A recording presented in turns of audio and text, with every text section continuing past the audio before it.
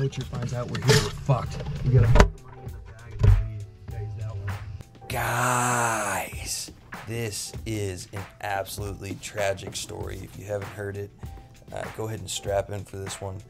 Uh, it's real important to remember to hit the like and subscribe button.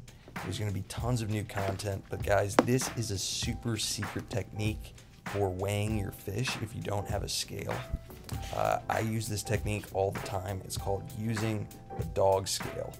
Right, this this bad boy clocked in at four pounds four ounces